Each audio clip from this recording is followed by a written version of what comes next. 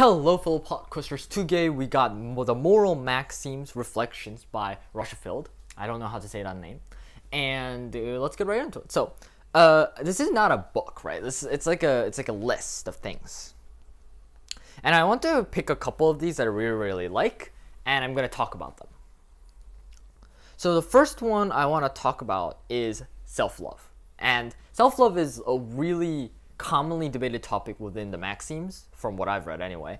And uh, the fourth one is where it kind of starts. And it says self love is more cunning than the most cunning man in the world. And yeah, that sounds cool and all that. But let's take a deeper look into it. I'm only going to look at two or three. So, self love, right?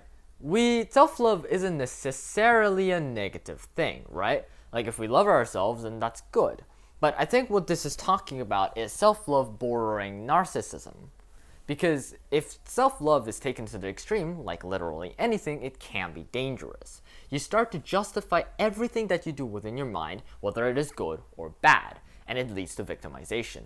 But I think this is also saying that self love in general can be dangerous in any kind of situation, even if you're not, you know, a developing narcissist. Because, for example, if you, let's say you're a completely normal person, okay? You're a completely normal person and you're on a boat and you got three or four people on the boat and you go.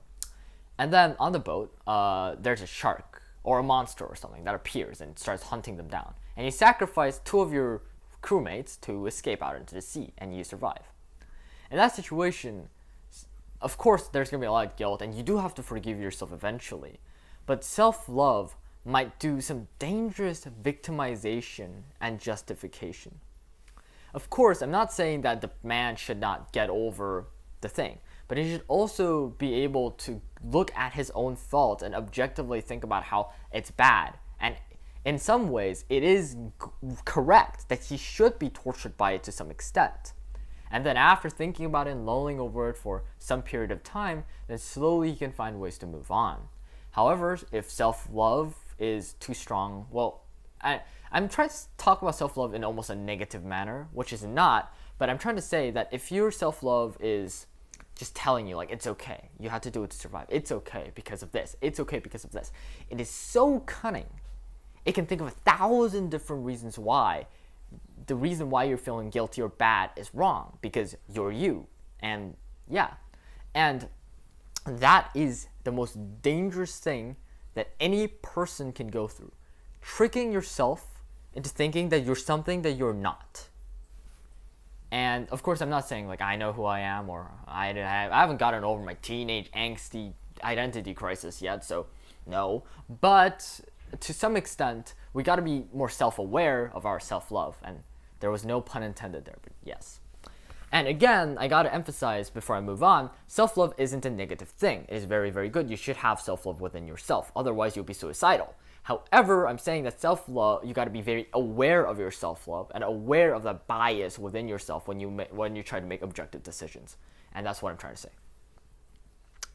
The next one is the sixth one, and this is something that I'm really passionate about, pun intended, because this one is called Passion often renders the most clever man a fool, and even sometimes renders the most foolish man clever.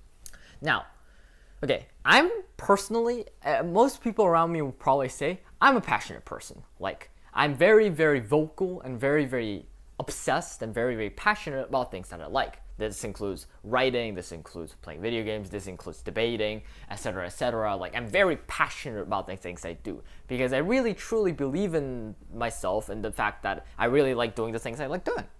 And that's good, right? But also, passion, like this thing says, can really make a really clever guy a complete idiot and can make a really, really not so clever guy a complete genius. Why is that? Because let's say let's say your passion is domination or become the ruler of the world. Let's say that's your passion. Okay, I know I know it's a stupid example, but let's say let's say that's the that's the current your passion.